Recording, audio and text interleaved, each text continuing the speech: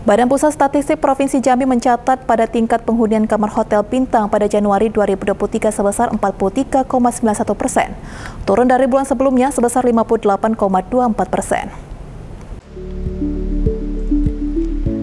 Badan Pusat Statistik Provinsi Jambi mencatat pada bulan Januari 2023 tingkat penghunian kamar hotel bintang di Provinsi Jambi sebanyak 49,91 persen turun tajam dibandingkan bulan Desember 2022 yaitu sebesar 58,24 persen. Namun lebih tinggi dari Januari tahun 2022 sebesar 37,88 persen. Data menurut klasifikasi tingkat penghunian kamar hotel tertinggi tercatat pada Hotel Bintang 3 sebesar 50,73 persen dan terendah pada Hotel Bintang 1 sebesar 35,83 persen. Sedangkan Hotel Bintang 4 dan 5 sebesar 41,90 persen dan Hotel Bintang 2 sebesar 37,65 persen.